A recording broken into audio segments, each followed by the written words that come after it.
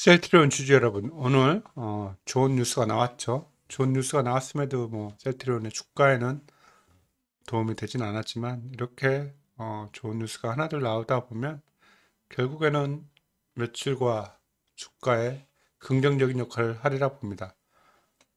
참 셀트리온이 어, IR을 못하긴 하는 거예요, 그죠? 아직도 토종 치료제 레키로나 효과 확인 이런 식으로 타이틀이 나옵니다. 셀트리온의 레키로나 효과 확인 이렇게 나오지 않는 거 보면 셀트리온의 IR 능력 정말 다시 한번 생각, 생각 해 봐야 되지 않나 생각을 합니다. 중증진행 78%로 낮아졌다. 우리는 뭐 임상 3상에서 이런 결과가 나오는 거를 미리 알고 있었잖아요. 그죠? 이 뉴시스에 나온 기사를 보면 국산 코로나19 항체 치료제 레크로나주 치료받은 코로나19 고위험 환자의 중증 진행 비율이 치료받지 않는 이들보다 78% 낮은 것으로 파악됐다.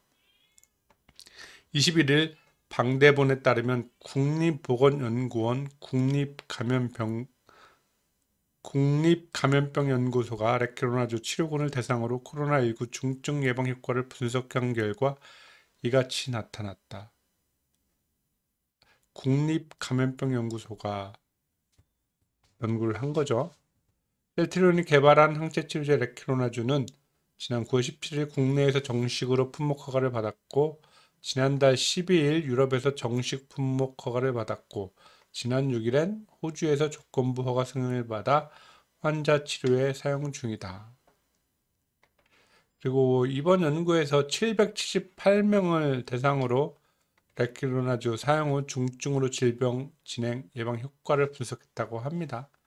우리가 삼상 임산 디자인 했을 때가 1130명 정도 됐었잖아요. 그죠? 그때도 70% 중반에 효과가 나온 걸로 보면 지금 78%나 어, 임상 3상 데이터나 뭐 대동소이하죠. 그죠?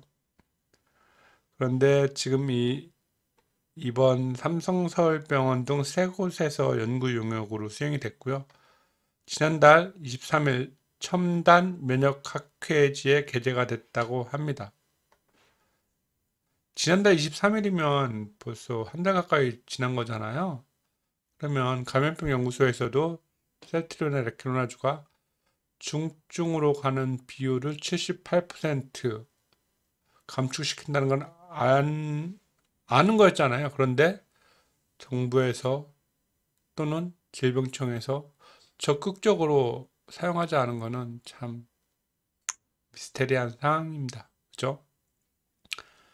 방대본이 지난 7월 중순 이후 델타 변이 환자를 포함해 항체 치료제 사용을 모니터링한 결과 투여자와 투여하지 않은 이들보다 중증 및 사망 비중이 낮은 것으로 관찰됐다.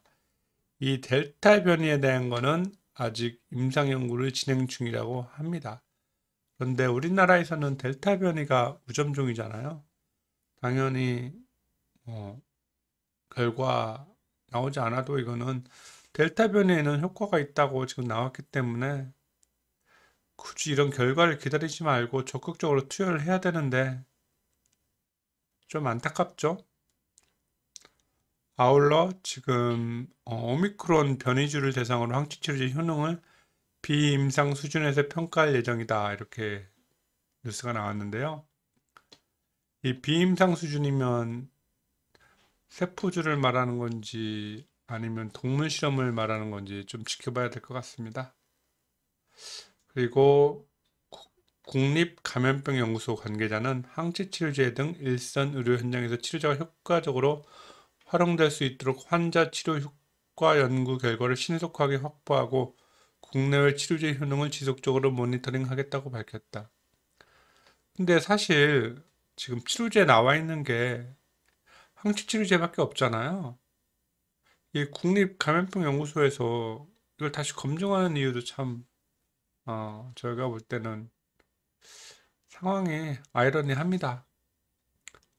델타 변이 지금은 이제 오미크론 어, 이 변이에 대해서 빨리 확인하는 게 급선무지 이미 임상 3상 그리고 우리나라에서 3만 1000명 이상 투여를 해서 효과를 본 치료제인데 이 그거에 대한 결과를 지금 이렇게 하는 거는 우선순위에서 그렇게 급한 게 아닌 것 같은데